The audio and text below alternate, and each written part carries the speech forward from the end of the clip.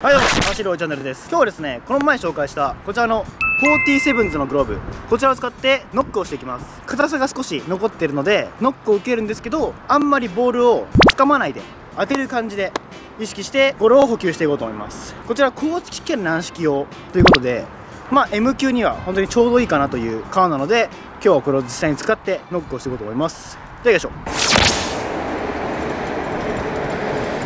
はい。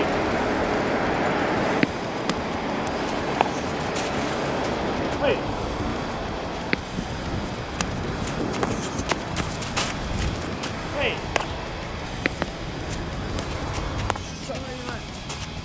はい。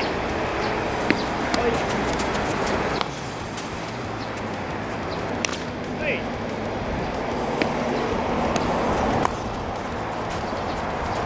はい。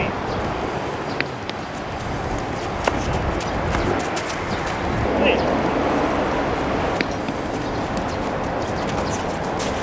はい。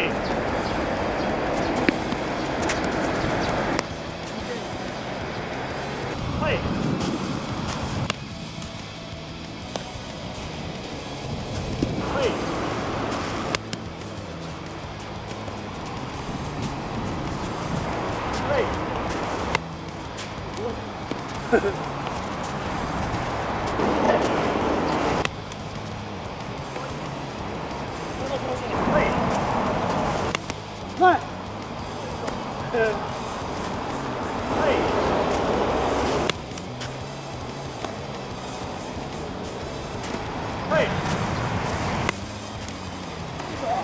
強すぎ？いいよ。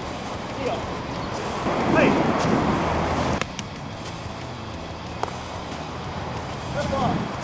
はい。前。はい、じゃあ次はちょっと公式も受けてもらおうと思います。アトム君お久しぶりです。お久しぶりですちょっと今日はそのグローブをちょっと使って公式を受けてください。はい公式兼軟式用なんでまた感想お願いします。はいよし。はい。はい。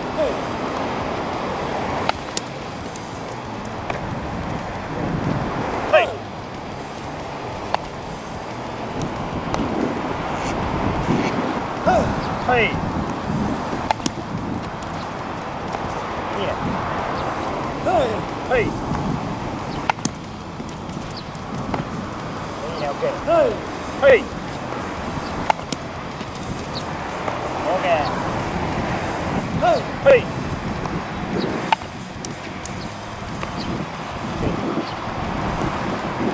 That's all.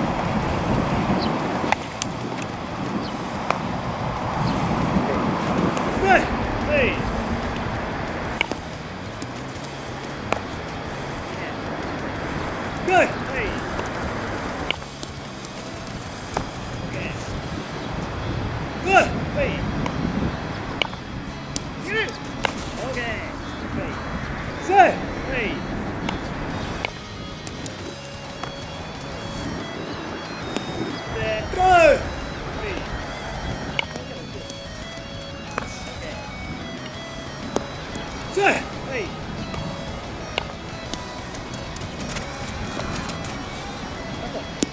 Wait.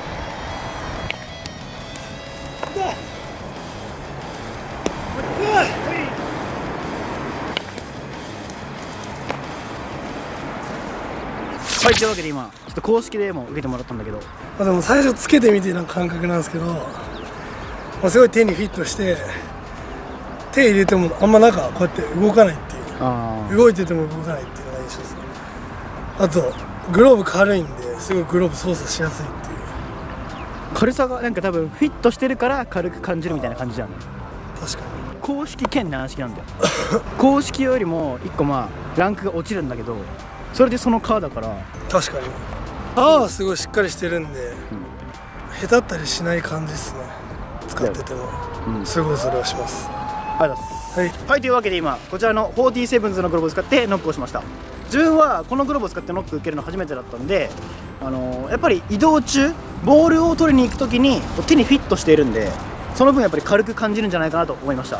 でまああのアトム君にも公式を使って受けてもらったんですけどまあ似たような感想まあ、のノック中にも結構話してたんですけど軽いけどしっかりしているっていう軽いけどしっかりしてるんじゃないかなって話してて、まあ、その辺がやっぱり最初に使った感想ですね、まあ、キャッチボールとかは結構何回かやってたんですけどノックはちょっと初めてだったんであとはこれを使っていってどのくらい形がつくかっていうのも注目したいと思います。で結構話してるんですけど既製品の販売が夏から始まりますのでその時にはまた詳しい情報を動画にしていこうと思います。はいというわけで今日はこの 47s の公式兼内野手用のグローブを使ってノックをしました。今日の走ろうチャンネルは以上です。よいしょ不安定な上昇が立つよ。頼まれした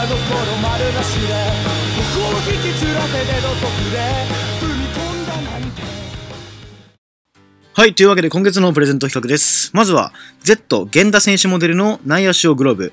こちらプロモデルで補給面が広いグローブ、そして小さいグローブとなっております。続いてこちら、SSK のプロエッジ打撃用手袋 M サイズになります。ホワイトとグリーンのカラーですね。こちらをチャンネル登録コメントで応募完了です。たくさんのご応募をお待ちしております。ありしょ。ありやした、ありやした、今日も見てくれてありがとう